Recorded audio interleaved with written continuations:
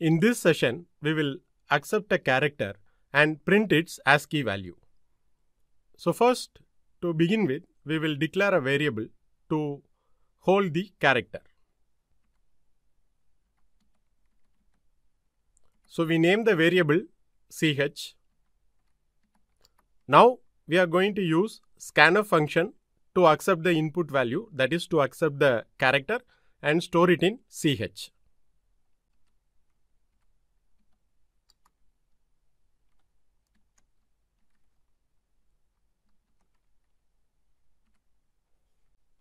So to accept, we use the address of operator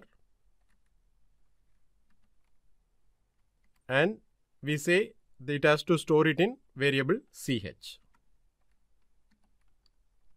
Now, the ASCII value is nothing but the integer representation. Okay. So to print the integer value, we need to use percentage %d which is the format specifier for integer. So we use the printf function to print the integer value of the character. The integer value of the character is nothing but the ASCII value.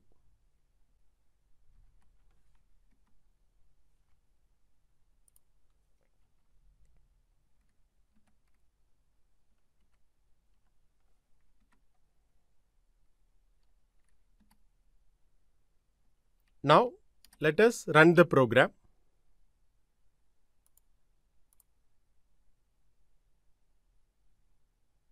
So, we give smaller case a as the input.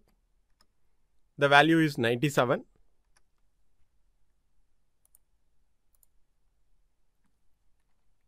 We give t as the input. The value is 116.